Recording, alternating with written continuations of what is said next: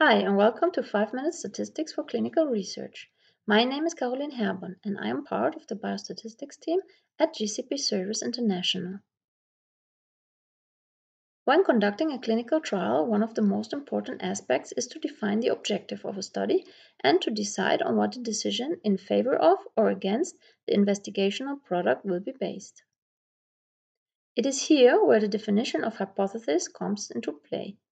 In today's video, we want to give you a brief overview of how study hypotheses are chosen, as well as how to interpret study results based on these hypotheses. Once it is decided what the objective of a clinical trial should be and how it will be measured, this is when the study hypothesis must be defined.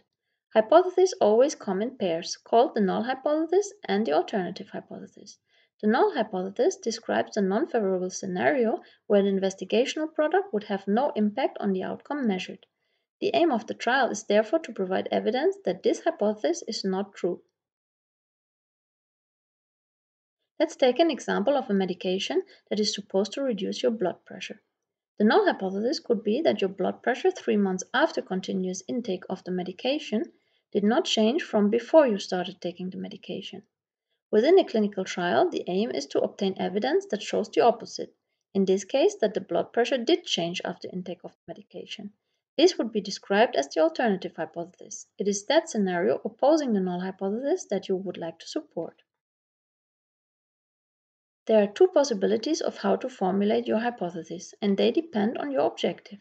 Do you want to prove that the blood pressure is changing into one direction, meaning that you expect it to increase or decrease with time? Or do you not have any expectations and just want to see if there is a change in comparison to the start of the trial? The first approach is called a one-sided hypothesis test and has the following notation.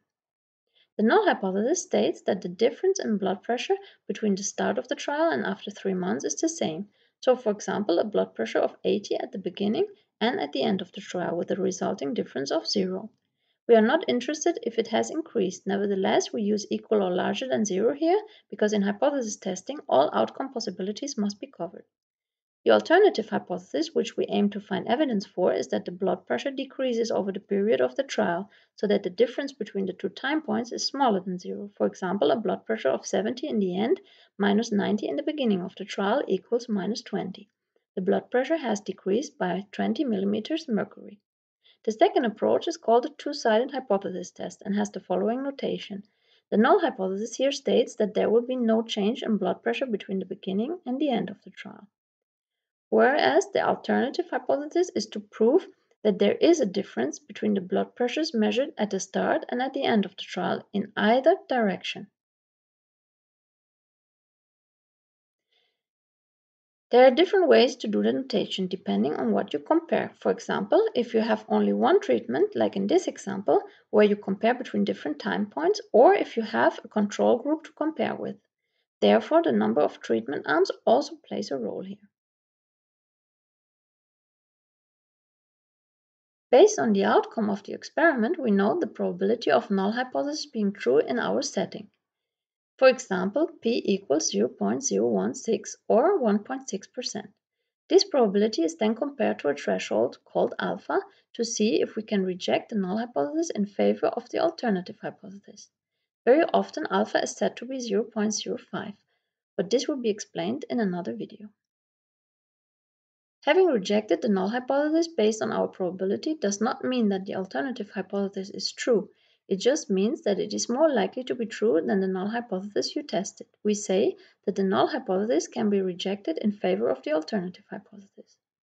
So that is it for today. As you can see, it is important to give some thoughts to your hypothesis to be able to make a reliable decision regarding your objective at the end of the trial. If there are any additional questions, our team of statisticians is happy to help you out.